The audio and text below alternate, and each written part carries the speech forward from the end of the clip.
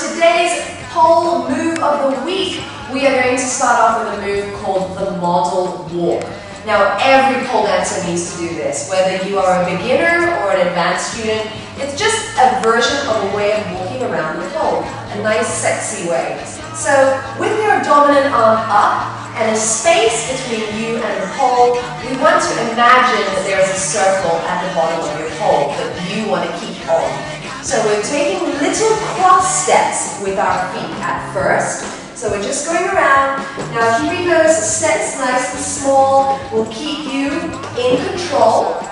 And once you've gotten used to that, we then want to add our hips. For example, if I step forward on my inside leg, that's the inside leg closest to the pole, I'm going to push my hips towards the pole, in.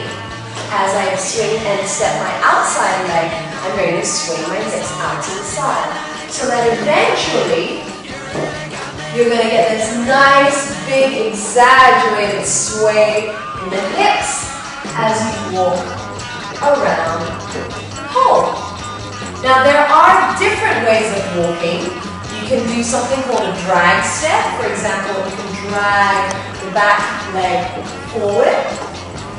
Want to just lean out a little bit to the side to exaggerate this move.